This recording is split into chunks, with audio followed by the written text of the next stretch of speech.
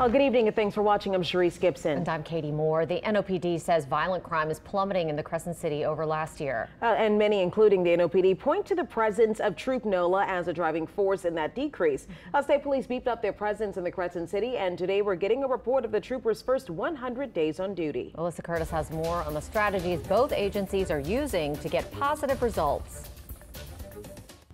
Violent crime in New Orleans is going down. Homicides are down 39% from last year. Non-fatal shootings down 46%. Armed robberies down 44%. And carjackings down 47%. NOPD Chief Deputy Superintendent Hans Ganthier says these results aren't just a coincidence, but long term. We look to see where officers can get the most bang for the buck. We deploy assets to that. We do have an intel driven portion of this where it's important we identify who the criminals are that are committing the most crime and we go after them. But he also credits a safer city to the help of Troop NOLA. Seeing uh, more stepped up patrols.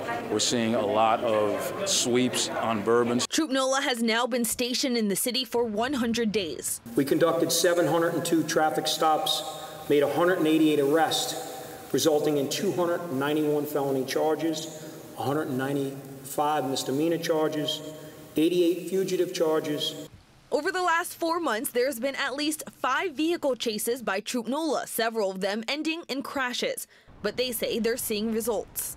Colonel Robert Hodges with LSP says Troop NOLA, along with their partnerships with other agencies, is a force multiplier for the NOPD. I think the difference is you work smarter instead of harder. Instead of targeting maybe a specific area, we we target specific behaviors and actions. So wherever the crime leads us. Both agencies say they're hopeful that between strategies and collaboration, New Orleans will keep seeing positive outcomes.